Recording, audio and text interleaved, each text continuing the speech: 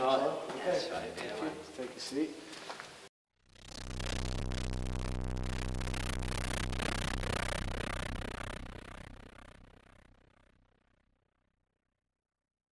Guys, today I'm joined with Gamal Yafai. He's a former GB star, now he's a professional boxer, Commonwealth champion, he's on to bigger things. Um, so Gamal, how you doing? You alright, mate? Yeah, good man, how are you? Yeah, not too bad. Um, so what got you into boxing, Gamal? Um, Prince Naseem. Did it? Yeah, yeah. You know what? To be honest with you, I think um, I remember like Cal, Cal was into Yeah, yeah. Cal brother, former world champion. Um, obviously, he was into uh, Prince Naseem a lot. I mean, Yeah. How did you get married? Did you just watch him one day? Um, yeah, we used to stay up and watch his fights. Um, yeah. I remember me and Cal staying up late till like four in the morning Yeah. to, and begging my mum to um, get the pay-per-views. Um, but yeah, man, I used to, I used to love Naz. Um, that's who got me into boxing really. Remember being on holiday in Spain. Um, Yeah. when I was about, about seven, eight, and I said to my mum, uh, my mum said to me, what do you want for your birthday? Yeah. And I said, um, just take me to a boxing gym. And then she took me to a boxing gym, solid up in, um, Solid. yeah, um, Solihull boxing gym And now. that was the old fella, I can't remember his name. Uh, Roy and Harry run it. Yeah, Roy yeah. and Harry, and um, yeah, so. I think so, he was only three. Was, he was young when you started that. Yeah, yeah, I was young then. I must have been about, probably about eight. You know, it's funny saying that because I remember going down Solihull boxing gym and I remember Cal was there and he had the actual Naseem style haircut, Yeah, didn't he? yeah. He had the Naseem, he had the Naseem to be like style, he had the leopard The- uh, the- shorts, yeah, yeah, and he used to even box striking, Yeah, wasn't he? yeah, yeah, He had his hands down like that and We he tried to box on. you wouldn't think that, but um, I, remember, I remember those days um, with obviously Cal and then obviously did you move from Solihull Gym yeah. to... Yeah, so basically we started off at Solihull Boxing Gym, I did, and then I said to Cal, I'm saying to him, come to boxing gym, and he was not on it, he, was, he didn't really. Cal wasn't really boxing, like we watched boxing, but he never really loved it like that. Yeah. Um, I used to just, I used to always love to fight, and that little yeah, tear away, yeah, um, yeah. and then uh, he, he said, nah, nah, it ain't for me, and then I asked him a couple of months later, and he yeah. ended up coming, and then... when it when he come, he just loved it then. And then uh, Cal lost like his first 13, 13 fights. Yeah. 13, s- I think he had 13 fights, lost like 10 or something stupid like that. Yeah, Um, yeah.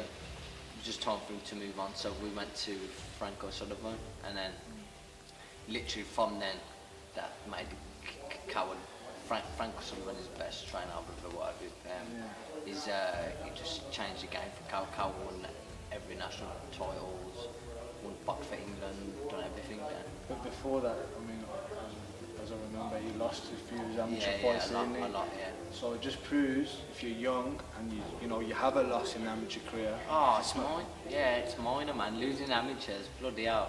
I, I, I lost a few when I first started off, and then Yeah.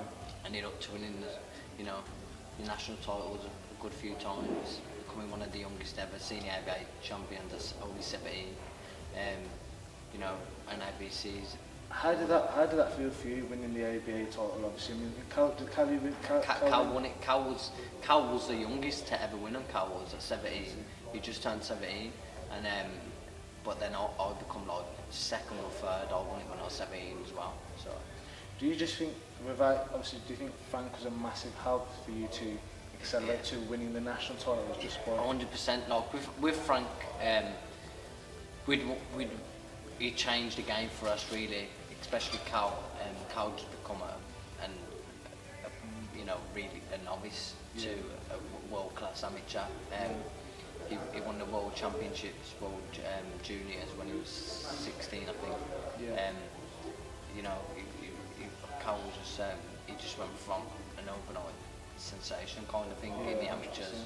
I Um, mean, I think like obviously I've got brothers and they're very competitive. Obviously my brothers like used to box and stuff, but having seen like Cal box and him do so well, surely that must have been something like very motivational for yourself. Yeah, very, very like, like it's mad because I'd won a few national titles and um, Coward boxed in the World Juniors. He got to the, he, he won, he won them up in uh, in Liverpool, and uh, I'll never forget the day. I was me and my mum and um, me, me and my mum and my little brother Galal Yeah. was um, at the Adelphi Hotel in Liverpool waiting for Cal. Cal had just won the gold. He'd gone up to have a shower. Okay. And um, we was sitting downstairs waiting for him, and the GB coaches were were there as well, and they, we got chatting and they said, "Is this you next?" And I was like, "Yeah, man." I was Yeah. like, because I was, I was kind of like emotional on that night. A young kid, my brother just won a world championship, Yeah. and he's like, "Is this you next?" And I was just like, "Yeah, man." I was like, "I want to get on GB. I want to, you know, go to World Junior. I want to do all that."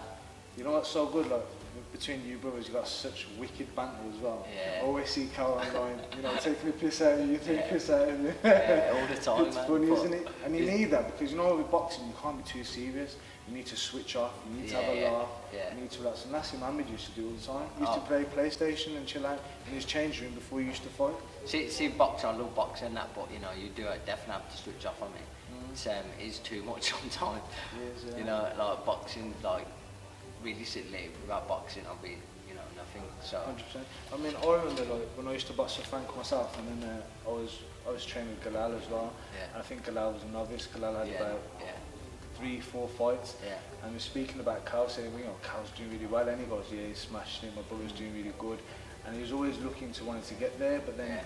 you know, because he had obviously Cal and himself doing good, he, he just smashed it. He won the national titles. Yeah. You know, boxing for GB, Olympic. He's an Olympian. yeah, Olympian, yeah. Two-time Olympian. Two-time Olympian, obviously. He would have been going to the Olympics, qualified Uh, again, didn't he he? qualified.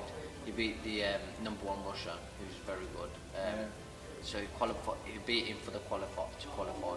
Yeah. Um, obviously the coronavirus. Yeah. So basically, he was in. He, he won the quarterfinals. yeah. He was the only one, wasn't he? Yeah, he was the and, Mc, and McGrail. Oh, yeah, yeah, McGrail. yeah. So um, he, he's boxing a Russian, but the Russian was the best kid in the... He, he, Galau was the best kid, but the Russian was the second best. So Galau was, Galau was to beat the Russian yeah, yeah. and qualify. Yeah. Realistically, he was going to go and win the gold, but then... Yeah. Um, obviously, Rob McCracken said to him, listen, this will be your last fight, this will the qualifying fight, because the coronavirus, they're going to stop the tournament. Yeah. So um, Galau was just like, all right, that's sweet. Just, yeah. His goal was just to qualify realistically, um, and he beat the Russian pretty easily, qualified. You know, obviously, say Robin McCracken, a very good friend of mine is, um, you know, Spencer, Spencer Spencer McCracken, McCracken. yeah. He's a very, very close friend of mine. Yeah, Um, and, you know, having his father and his brothers do really good. Yeah. Um, obviously, they accelerated. I mean, how was it like knowing that? Obviously, because before you, you brothers, it was Yeah. Robbie and it was Spencer, and, and obviously, did they help you? Like, I mean, Robbie. You know what? I'll be honest with you. I never, I never knew much about her um, until, obviously, I was, when I was at Frank's. It was only to the latter part of my, while I was at Frank's that I got to know about her, um, Rob and. Um, and then my, my brother was on the podium, Oh, on the podium squad, and then Rob became um, the, the head coach of, the, the podium. I was on the development because I was just I was younger, quite a bit younger, so I was just coming through. And then um, Rob used to drop my brother home from Yeah, yeah. Sheffield, and um, seen him a few times. lo- Lovely geese, and basically they just said like, if you win the senior ABAs, because I was due to go into senior ABAs, if you win the senior ABAs, then you will be the next one to um, join the um, G, uh, senior, the, the, the podium. Yeah, So obviously I won the senior ABAs, um, but I was I won the senior ABAs at 51 kilos, and my brother was the number one at 51 kilos on the uh, podium. So Older brother was going to get a school, yeah. boy.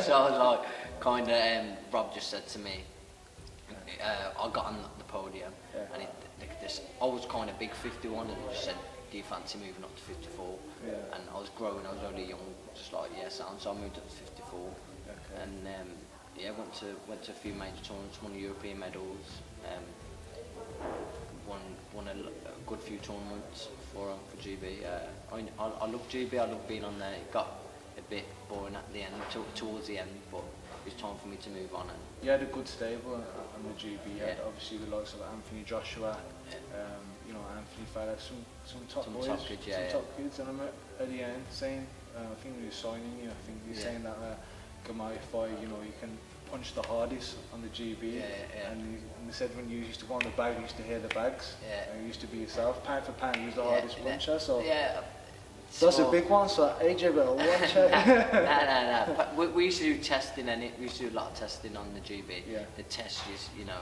you, you, how strong you are, whatever, and you know, like not being big headed.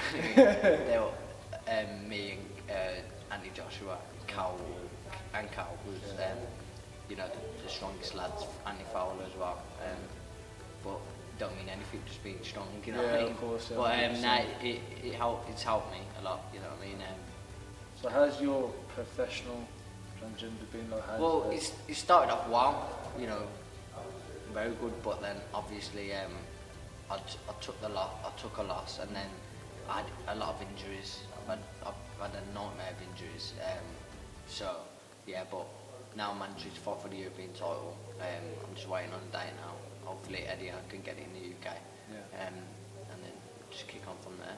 kick on from there, yeah. I mean, so with yourself, I mean, what in your category now that you're in, Yeah. in, in the boxing professional game, is there anyone that you got your eyes on in Britain, or do you look past Britain and want to go on to European and world now? Well, I'm I'm managing for the European. Um, hopefully, I, I can win that, and then I can look on, you know, to push on better things, push on to better things. But yeah, you do look at the kids at um, my weight over here, but see they're with other um, promoters and so on. So it's really it's never going to happen. So I don't really look into it too much. That, and um, you know, I just I just look, I just on myself mainly. Don't really on what's, anyone else. what's the difference between the amateur training and the professional training now for yourself? Um, it's just a lot long. It's just a lot longer. You know, you got to pay yourself a bit more. Um, amateur boxing is just you know 20 on the go from the Yeah. get go. Boom. You don't know when you're fighting, you have to yeah, be fit all the yeah, time, yeah. you? You're not. Yeah, and, and as a pro as well. Yeah, you have to be. You know, you have to be. I train all the time realistically, even if I'm not fighting. So even I, I might have a week off here and there if I'm not if I'm not fighting, but it, I'll make sure even if I'm not fighting, I'll always be doing something. Do you think your amateur pedigree helped you to be the professional now? Because the reason why I say this is a lot of boxers who tend to rush becoming a professional. Yeah. And I, in my opinion, I think you should take your time Yeah, with it. yeah, yeah. Because It, it, it, it, it does help 100%. Anyone that would told told you different would be lying, you know what I mean? But don't get me wrong, don't think just because you haven't had the greatest amateur career, you can't have the greatest professional career, you know what I mean? Because I've seen, I've seen it for myself, kids that who have done, you know, very minimal as amateur. I've seen them as amateurs and, they've been, and, and they've gone pro and I thought, bloody hell, mate, you should have chilled for a bit, stayed amateur, you weren't Yeah, really the, yeah.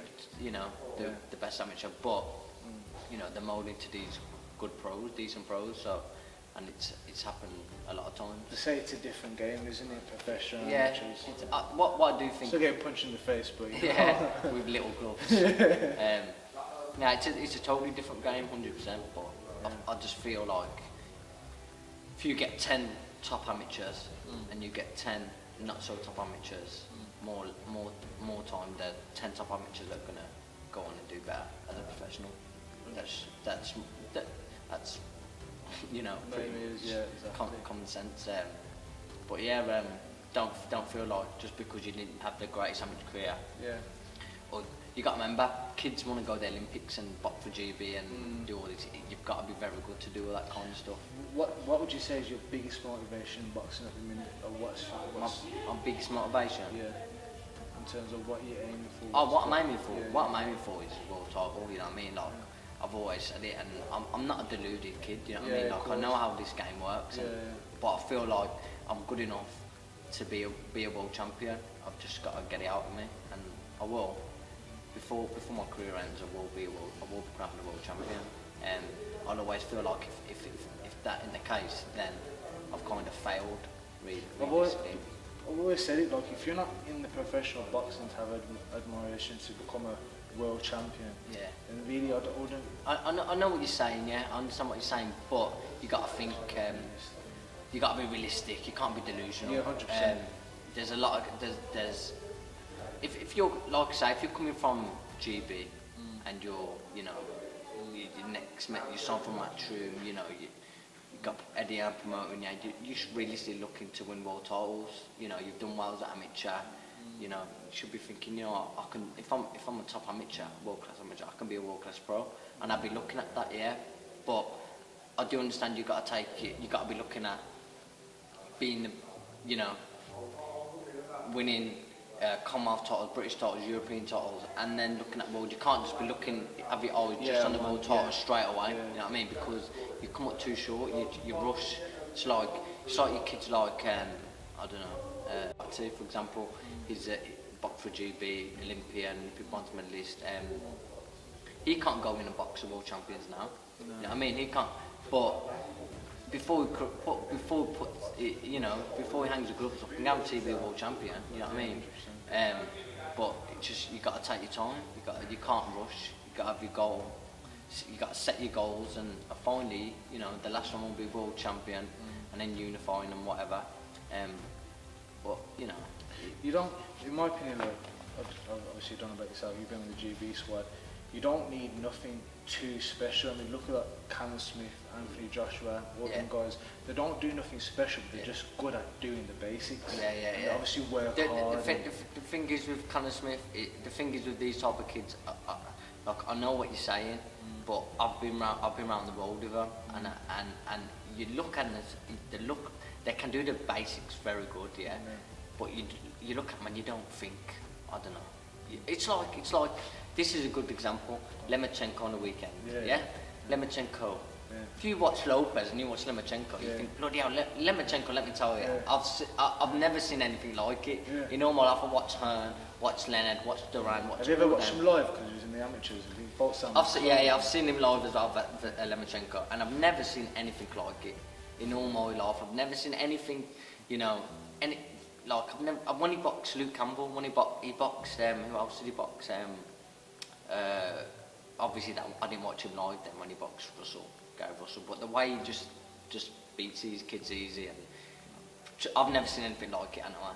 And he's got realistically, he got beat by Lopez fair, and What was your opinion of that fight? I, th- I thought I thought he, I thought Lopez won pretty, pretty easy. I did. Yeah, I thought that as well. I- people who have draws and I'm like, what were you watching? Like seriously, I didn't. A lot of people say it was first, first five, yeah. six rounds he won. Yeah. Then, then, then he lost like seven, seven, eight. He might, he might have lost seven, eight, and I can't remember. But then I remember, remember him losing a few in the latter part, and then I remember him the second round, the the twelfth round, the final round, just, just you know, needing hurting Lemachenko and that. And uh, th that that's what I'm saying to you. Mm. Lemachenko does a lot better things than Lopez. Yeah, he does. He does it. I don't care what you say. There's a lot better things than him. He's the most skilled fight, better skilled, Mm. better everything, but except power. But he's he's beat he's beat, and he but they'd have a rematch and he'd beat him again. You would, in my opinion, I think. But that's what I'm saying with Callum Smith and Joshua. Trust me, they're a lot better than what you think. Yeah, you yeah, see them and you yeah. go, oh, the, the basic. Callum Smith don't look a million dollars on the eye, and the Josh don't look a million dollar million dollars on the eye. But, they're very but good. i- i- true boxing fans, they do. In my in my opinion, they do because how good they're doing Yeah, the yeah. basics, how good their jab is, how good they're on their feet. Have you seen Callum Smith? Callum Smith don't. Callum Smith don't. He, he's not on his feet, on his toes No, constantly. no. But what he does is the judgment, just the way he just comes out, the Yeah. distant boom Yeah. in out, and that's what that's. You know what? They're two of my favourite punchers. You know, Callum Smith and your Yeah. brother Cal. Yeah. The way they just The way drop the yeah. one, two Yeah. feet to the head and bang to the body. But you know what? I, I, I've I've known Callum for years, Smith for years, and, and and I'd be the first to say too. I think he's unreal. Like Yeah. now, now I think he's unreal. Yeah. But even as a, even as a GB, he was still a top top kid. Don't get me wrong. But I'd never thought he'd go in and do what he's done now. You know what I mean? And that, that's a that's a that's a beautiful thing about boxing. Yeah. You see a lot of these kids and you go, he ain't, he ain't gonna he ain't gonna he ain't gonna go and win win. You see, there's a few kids on the GB lad Yeah. on the GB squad now. They go pro and you think they ain't gonna do much and that. But trust me, What you- what- Where Jo- did, go on, sorry. so- same as with Josh Taylor and that. Look at them now. They've gone and done best in their weight. Callum Smith, the best in the weight in the world. Josh Taylor and Nick Joshua. You know. Um, but, Who have you got, Joyce or Triple D? Uh, oh, I don't know. It's a hard one. I like Joyce, man. He was on the squad. I was on the squad with him, and that, yeah. so it's uh, it's Yeah. a hard one. But I, I hope Joyce does it. But I, I like that Daniel Dubois because I remember him on the squad as well.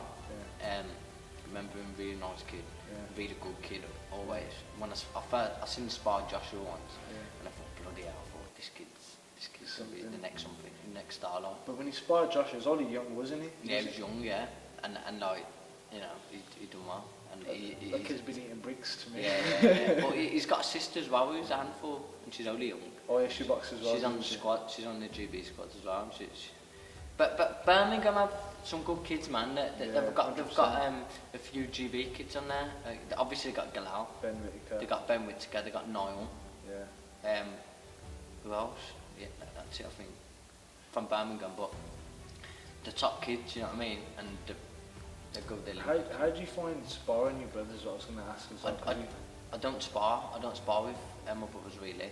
I do. T- I do a bit of tech work and that with Take Because I've seen you down, I've seen you down Birmingham City. I think doing a few rounds with Galal. Yeah, it would have been a while, That was a while ago. Yeah, yeah. Um, yeah, but- Sometimes it might get heated. yeah, oh yeah, trust me. Well, that, that that's a thing. You can't spar your brothers. You can't, that. can you? You know what I mean? Like Yeah. it just don't work. Um, but obviously they're top kids, and it. I like sparring Galal because he's awkward and he's, you know, he's proper amateur on you and you're 24 seven. yeah, yeah. 24 seven. He don't give you no space. That's just good. That's what we need. Um, So have you got a date, any dates? And have you got a Well, date fixed? Obvi- obviously, the kid, the, the European champion, is from abroad, so we're trying to, we're trying, Eddie's trying to get it done over here, Yeah. trying to make the fight over here, so hopefully we can make it here. But if not, I don't mind going over there. You know what I mean? If, if I have to. Um, either way, there's no fans here anyway. Yeah, I mean, um, so fantastic. I mean, there's only me and him in the ring. yeah, exactly. That's it. Because I mean, when you box, you don't hear no. the, the crowd helps, and that, don't get me wrong. Don't get me wrong. Yeah, I, I'd like to box here in the UK. You know, the, all the fans would be behind me. Yeah. You know what I mean? But they're not. They're not. They're not here anymore.